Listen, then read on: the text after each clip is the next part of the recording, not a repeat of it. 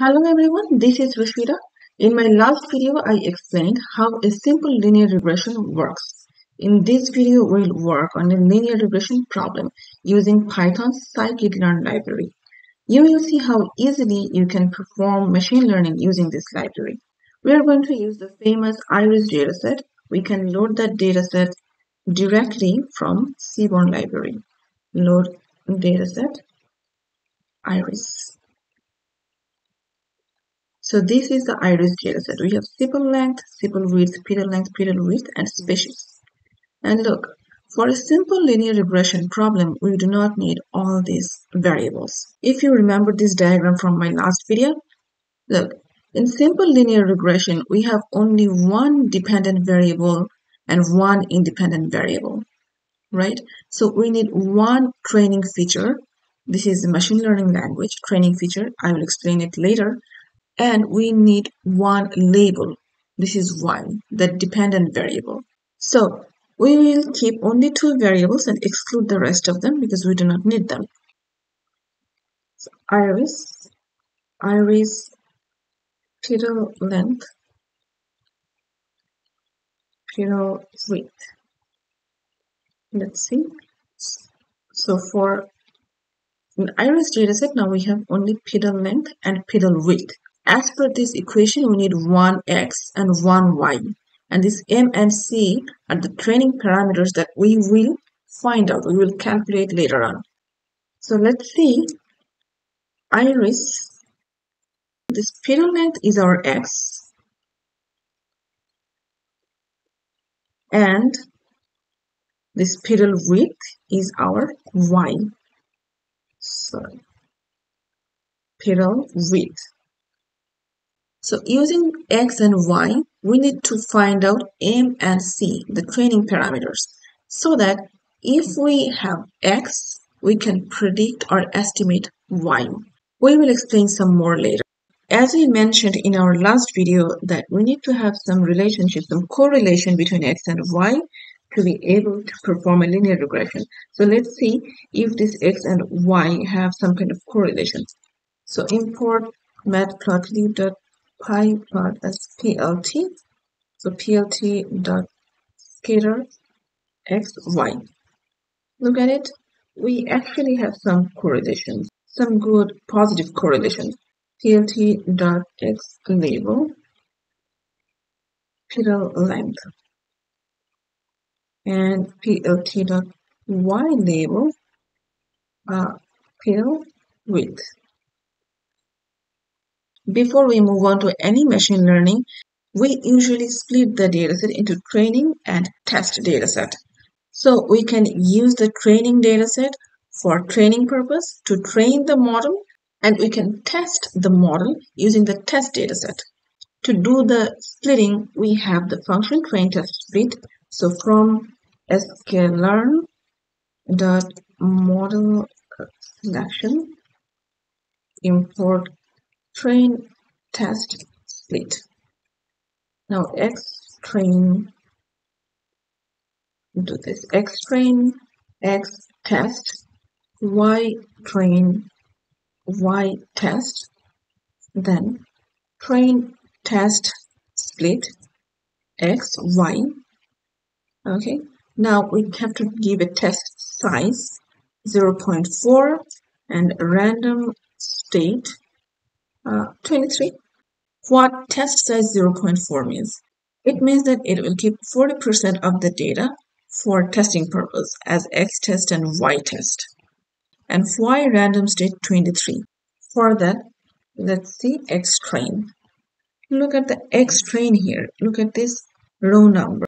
77, 29, 92, 23. So it takes the random rows. It doesn't take top 60% or bottom 60% for the training data or top 40% or the bottom 40% for the testing data. It takes the random rows to make up that 60% or 40%. If you run this train test split again, it will take different random rows. So if we want to recreate the same splitting, we have to use a random state and this 23 is not constant you can use any other number but when you regenerate the data you have to use the same number This X-train is one-dimensional. In scikit-learn libraries, the machine learning uh, algorithms take two-dimensional data. So we need to reshape this X-train and X-test to two-dimensional data. So for that, we need to import NumPy libraries first. Then X-train, we need to np.array to convert it to array X-train dot reshape minus 1 1 look X-train here it is. It's two dimensional now. Look at it. We are going to do the same with X test.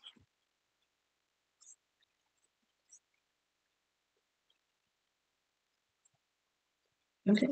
X test X test became two dimensional as well so data is now so we need to import the linear regression from scikit-learn library first. From sklearn.linear model, import linear regression. Now let's save the linear regression model to a variable. Linear regression. So this is the model. We need to fit our X train and Y train lr dot fit. We need to fit our X train and Y train to this linear regression model. What this will do, we talked about how we keep changing M and C and we find the optimum M and C for this best fit line to fit this straight line to the dots. When we fit X train and Y train to this linear regression model, this is what happens. It finds this M and C to find this best fit line. Generally, M is called the slope of the line and C is the intercept, right? But in machine learning, M is called the coefficient and M and C are called the training parameters. When we feed X train and Y train to this linear regression model, this is called the training. That means we actually trained this model. And after this fitting process is done, that means the training is done, this LR model should have the training parameters M and C. Okay, let's see. LR dot intercept. So we have the intercept and look at the coefficient LR dot coef. M, oh not N, it's this is the m, the coefficient or the slope for the linear model. Now we already have m and c. So if we have the x now, we should be able to estimate the y. Let's see if we can estimate the y. y pred train.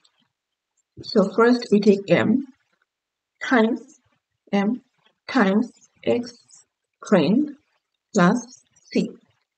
So Okay, instead of this, let's put underscore. Y pred. So this is how it looks like. Okay. But for scikit-learn library, there is a predict formula. So you can use directly the predict formula. lr dot predict x train. We already fit x train and y train to the LR. That means LR should be trained and it should be able to predict now. Okay, Let's do y pred train 1. Now y pred train 1. You can see here, okay, I will flatten it. Okay, so this one is one dimensional. So let's make this one one dimensional too so that we can compare. Dot flatten. So it will become one dimensional.